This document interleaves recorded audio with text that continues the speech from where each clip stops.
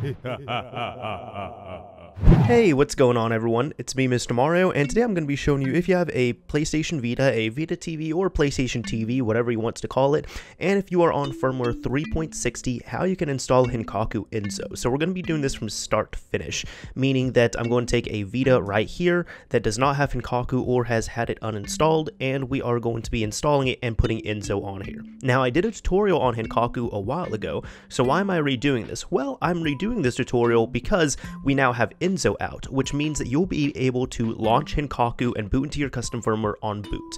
You no longer have to connect and re-download or update or, uh, you know, in a way, tether your Vita uh, in order to get HENkaku running on there. So the best comparison that most people have been saying is this is a lot like a untethered jailbreak, where instead of having to turn the system on, reconnect, and then, you know, quote unquote re-jailbreak the system, it will be jailbroken on boot, even though that's not the term, but that's going to be the thing we're comparing it to.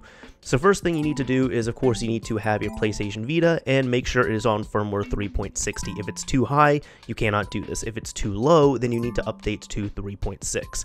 Now, once all this comes up, we're going to go ahead and unlock our Vita right here. So we should be good on that. And we are now going to go over to the web browser and go to the HENkaku website. This is assuming that you have not installed it before. But even if you have installed it, I'd recommend doing this just to get the latest version. So you need to go over to right here, henkaku.xyz, and that's what the website you're going to need to load is. Once this comes up, we're going to go ahead and hit install, and then it's going to give us this warning right here, and we're going to hit install on that. Well, if I can actually get to it, And now just wait for this right here to finish up. This is now going to download all the files that we need. Once this has happened, go ahead hit OK right here and just wait.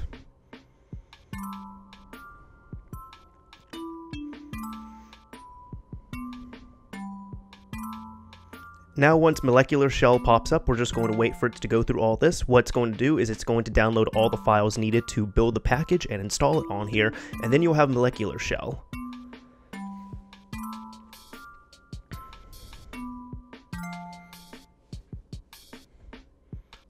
So now when that is complete, it's automatically going to close out of your web browser, and what you need to do is you need to go down here, and you're going to find molecular shell.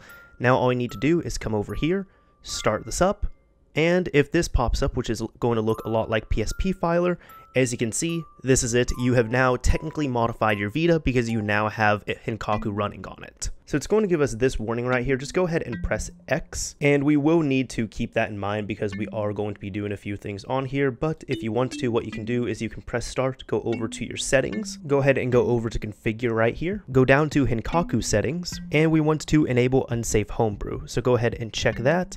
And also this is the nice thing as well too. You can go ahead and edit all this other stuff as well too if you want to unlink your memory card so you could use it in other types of things.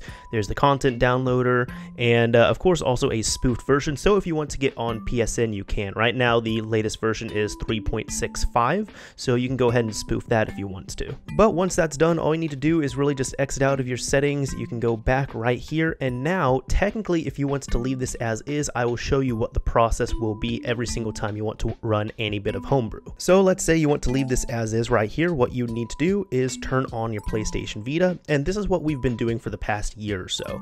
And once your Vita pops up, we're now going to try and run Molecular shell because we need that to start running before we can run any type of homebrew.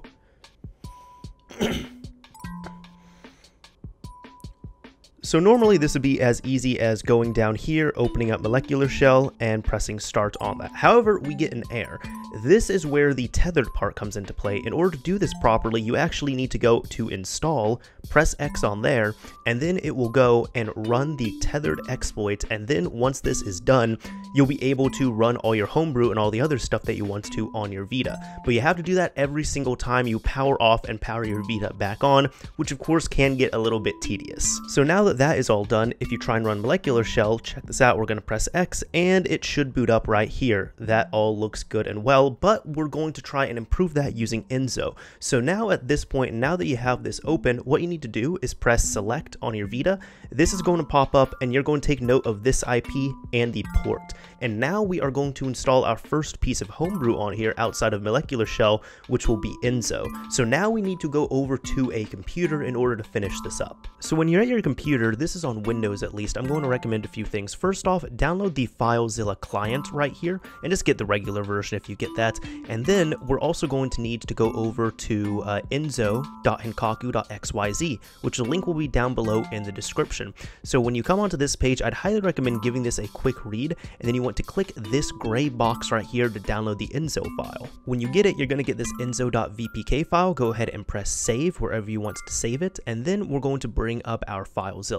Now, if you've never done anything like this, this can be a little bit daunting, but on the left here is going to be the files on your desktop that you want to transfer over, and on the right is going to be your PS Vita. So you might be wondering, how do you access your PS Vita? Well, that IP, you still need to have that running in the background, just keep it up on your Vita, but you need to enter right here your IP that is showing on there. So mine is going to be 192.168.1.122. Yours is probably going to be different, and the port is going to be 1337 press enter to quick connect. And as you can see right here, we have all of these folders popping up, which you probably don't know what these mean, but it's totally cool.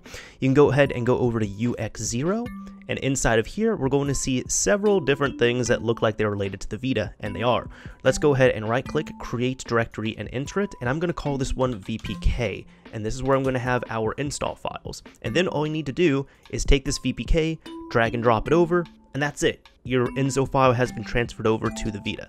At this point, you can now disconnect from here, exit out, and we're going to finish out the rest of this on the Vita. So now, as you can see right here, this is still running, but we're going to press circle to cancel this, and I'm going to press circle to go back, but we're going to go back over to the UX0 directory, and we're going to be looking for VPK. That's it, that's the folder we made.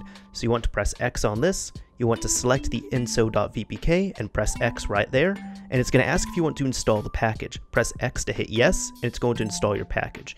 Now, it's going to ask you if you want to install this because, you know, this could be a dangerous package. It's not, it's Ensō as long as you get it from the proper source, which I linked in the description, it will be fine, but press X right here to finish it out, and it will now install the app for Ensō on your Vita. So when it's done, it's going to disappear. All we can do is press the home button, exit out of this, and now we need to go over to this new Ensō application that's popped up.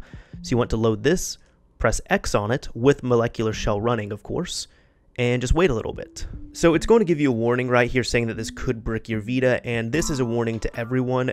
This is a pretty safe program, but again, it is a modification to the system that will actually touch some sensitive files on the console, so you might want to proceed with caution on here. It should be safe, but there's always that just in case measure. But if you agree to it, you can press circle, and it's going to bring up this menu. It's going to say you can press, you know, cross, triangle, whatever you want to. Since we want to install Ensō, we're going to press the X button or cross, and just wait for this to finish.